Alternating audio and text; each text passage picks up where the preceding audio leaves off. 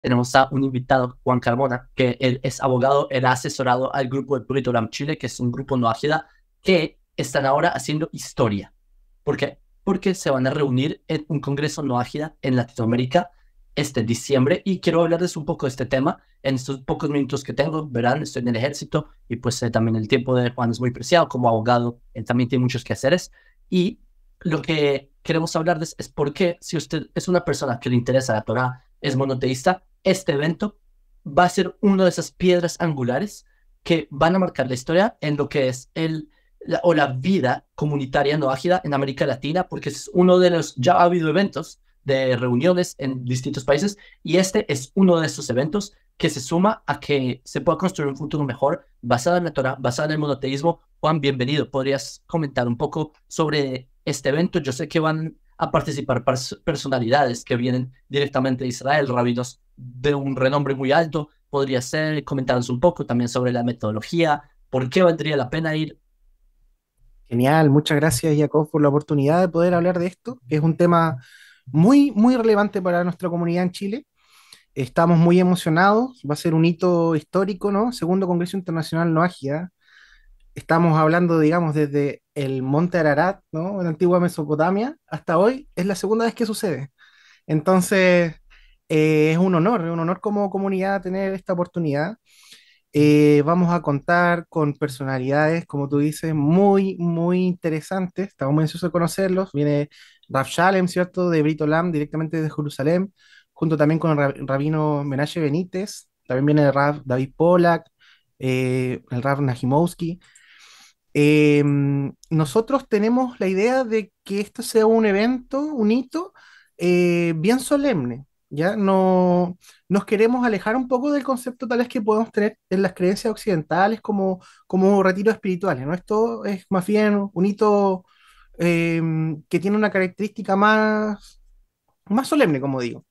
Tenemos pensado, ¿cierto? Estamos organizando un lugar muy lindo donde realizaremos las actividades, eh, donde principalmente nos vamos a, a basar en ciertos ejes temáticos.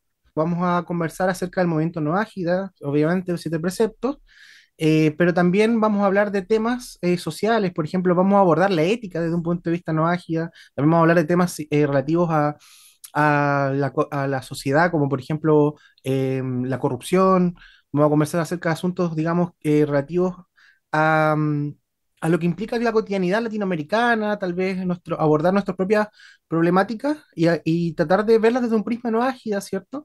desde el conocimiento de, de los preceptos que nos competen, ¿cierto? Como, como personas, como seres humanos.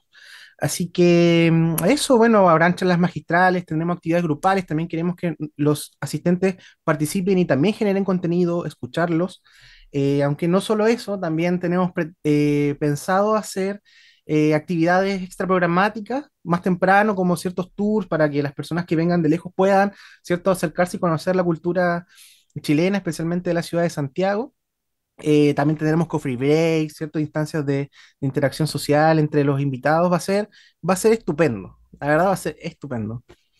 Me parece buenísimo, especialmente el tema de la interacción, como tú dices, que también hayan ponentes de, desde los mismos participantes, porque por el caso de Israel, para que escuchen un poco de cómo se creó el Estado de Israel. Judíos de todo el mundo son ideas de todo el mundo. Piensa un judío de Polonia y un judío de Marruecos que tienen, son ideas que empiezan a, formar porque tenemos esa misma base, ese mismo motor. Y lo mismo pienso que ocurre con un Congreso Internacional de Bnei Noach, que es que se encuentran distintos panoramas, distintos enfoques y así en verdad se puede construir, intercambiar ideas. Me parece buenísimo también en el aspecto de que vayan rabinos que desde Jerusalén hasta América Latina me parece una interacción que en la pantalla es muy limitada y claro. que esta zona es una vivencia muy, muy distinta. Y bueno, de verdad, eh, los felicito, también los quiero felicitar a propósito, como hay muchas comunidades no ágidas, han logrado avances eh, sociales, comunitarios, de todo. Brito Chile los quiero felicitar porque ustedes han logrado que pronto se van a hacer una formalización legal es de forma de fundación y esto es parte de esos digamos, eh, vanguardias que cada novedad puede ir aprendiendo y por eso yo creo que vale mucho la pena tomar parte y no sé, si quieres eh, cerrar con alguna invitación o algún punto que quieras eh, enfatizar.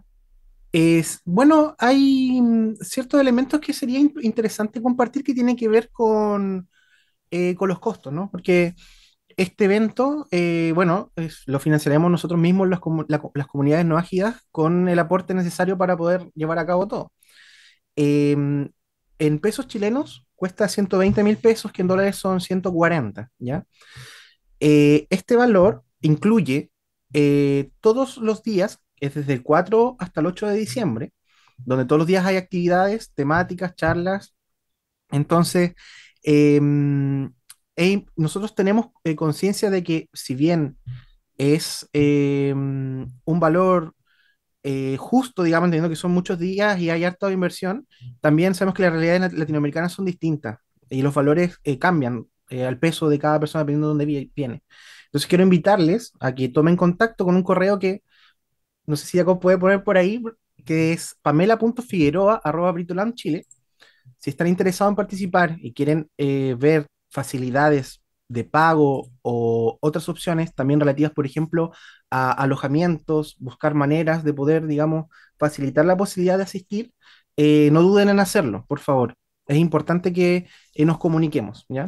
Este evento lo tenemos que sacar adelante entre todos y asimismo también eh, necesitamos coordinar, coordinar la posibilidad de que quien quiera asistir pueda hacerlo. Entonces consideren esa posibilidad, por favor. Me parece muy buena, eh, digamos, consideración y muy buen eh, punto, porque realmente las personas también piensan con el tema del bolsillo y es Claro, es difícil. Y bueno, viajar, también muchas personas que vengan de países claro, medio y lejanos quedan les digo, pongan en las agendas, vayan guardando y pues eh, ahí, ya saben, se pueden comunicar con el contacto que voy a dejar en todo caso. Sí, perdón. Y, y también pueden reservar su cupo, también en el mismo correo, para que mm, se entusiasmen a escribir, a participar, no, no se lo pierdan, sobre todo.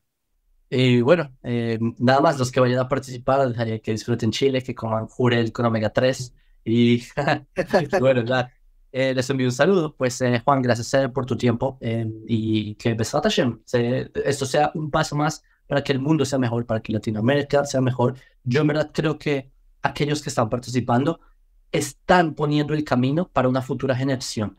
Y bueno, me parece que sea- es bastante significativo tomar parte en un proceso histórico tan valioso. Y bueno, nada más, un saludo desde Israel.